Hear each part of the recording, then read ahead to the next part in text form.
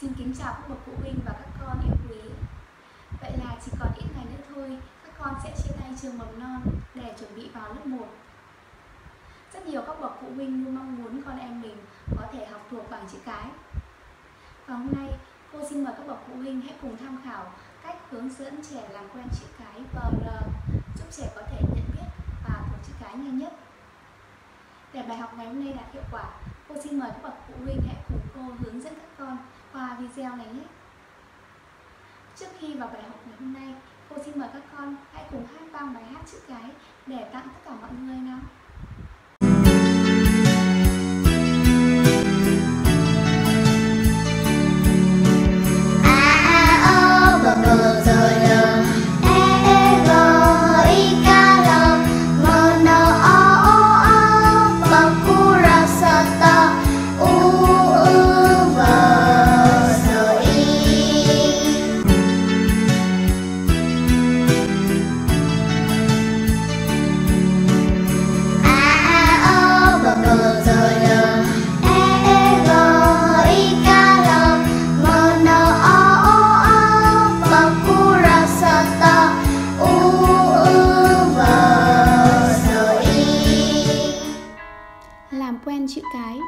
V, R.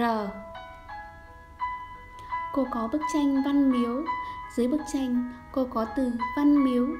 Các con đọc cùng cô nào? Văn miếu. Văn miếu. Trong từ văn miếu Các con hãy quan sát xem Đâu là những chữ cái mà cô và các con đã cùng làm quen. Chữ Á. M. I E U, N. Và còn lại một chữ cái mà cô và các con hôm nay sẽ làm quen đấy. Đây là chữ V. Chúng mình hãy phát âm cùng cô nào. V V V.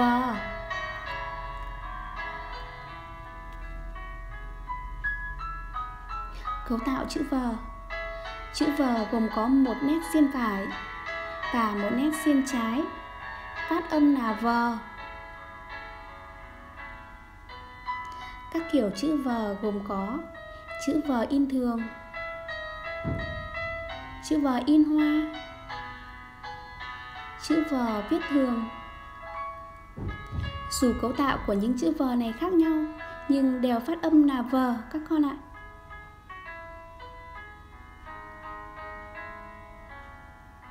Cô có bức tranh tháp rùa. Dưới bức tranh có từ tháp rùa. Các con đọc cùng cô nào. Tháp rùa. Trong từ tháp rùa có rất nhiều những chữ cái mà chúng ta đã biết.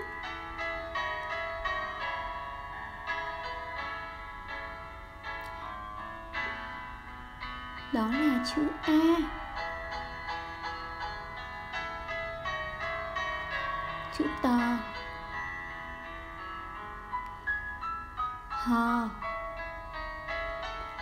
pa u. Và còn lại một chữ cái, hôm nay cô và các con cùng làm quen. Đó chính là chữ r. Các con phát âm cùng cô nào. R r r. Cấu tạo chữ R gồm có một nét sổ thẳng và một nét bông nhỏ ở phía trên, phía bên phải. Các kiểu chữ R gồm có chữ R in thường, chữ R in hoa, chữ R viết thường. Cấu tạo chữ R là khác nhau nhưng chúng cùng một phát âm là R các con ạ.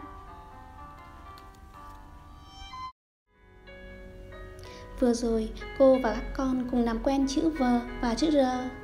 Bây giờ chúng mình hãy so sánh hai chữ V và R có gì giống và khác nhau nhé. Chúng mình đã tìm ra điểm giống và khác nhau chưa? À, chữ cái V và R không có điểm giống nhau các con ạ. Còn điểm khác nhau đó là chữ cái V gồm có một nét xiên phải và một nét xiên trái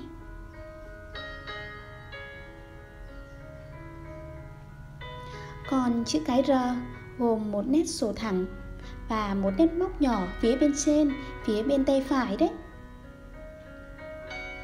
Chúng mình cùng phát âm lại hai chữ cái này nhé. V, R. Bây giờ xin mời các con cùng đến với trò chơi luyện tập. Các bậc phụ huynh hãy kiểm tra kết quả trò chơi của các con.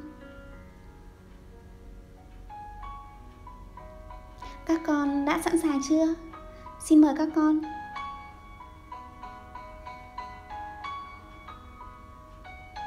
Xin mời các bé đến với trò chơi thứ nhất.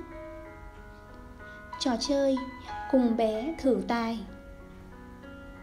Bé hãy xếp các khối vuông có chứa chữ V theo thứ tự từ lớn đến bé.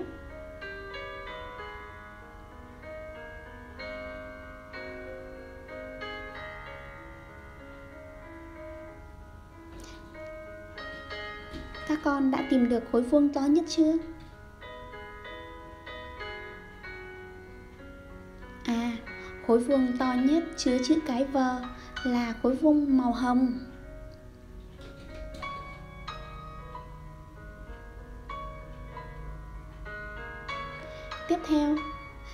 Khối vuông màu lâu. Chúng mình đã tìm thấy khối vuông tiếp theo, có chơi chữ V chưa nhỉ? Đó chính là khối vuông màu xanh lá cây. Và cuối cùng là khối vuông có chữ chữ V, có màu đỏ. Cô chúc mừng các con.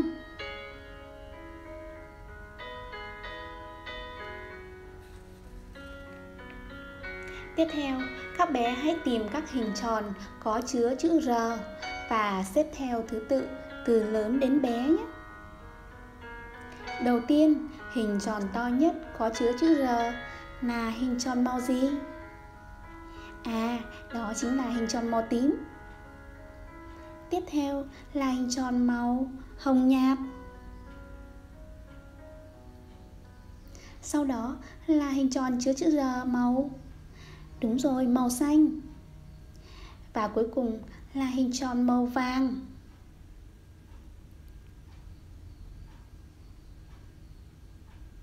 Xin chúc mừng các con.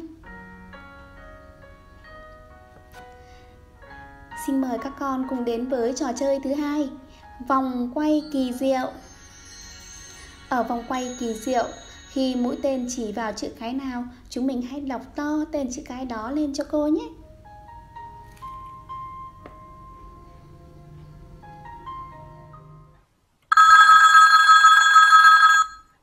v. R. H. V. R. Hy vọng với những chia sẻ của tôi ngày hôm nay, các bậc phụ huynh đã có thêm cách để hướng dẫn trẻ học chữ cái một cách đơn giản mà vẫn hiệu quả. Chúc các bậc phụ huynh thành công. Xin chào và hẹn gặp lại. các mình và các con trong những bài học tiếp theo.